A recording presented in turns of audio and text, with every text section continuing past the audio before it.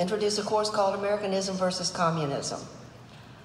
It was a course that was well received, and about a generation learned a lot from it because it was done uh, in a critical thinking manner, taking the facts, letting students make their own decisions, but making sure they had the facts to make proper and educated decisions.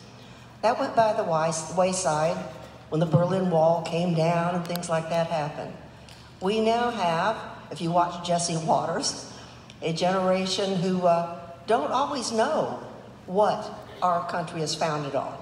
I do, just in case, always carry a little U.S. Constitution with me, so if somebody has a question, I can answer it. I don't have one. I don't think Florida makes a little, little one like that. I was fortunate enough to get my master's in education from this university.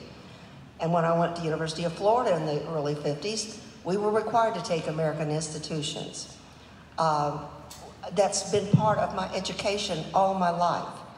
And it saddens me at my old age to see many young people not really having developed either the critical thinking skills or have the facts to make the decisions they should be making on how they want their government to operate.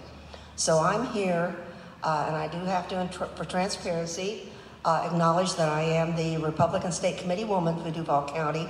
I am not here in any way with any opinion for the party. This is personal with me, having been an educator and a social worker with the city of Jacksonville, uh, that I want to see and the only way to make sure that we continually always have our children have a basic education of why they have educational possibilities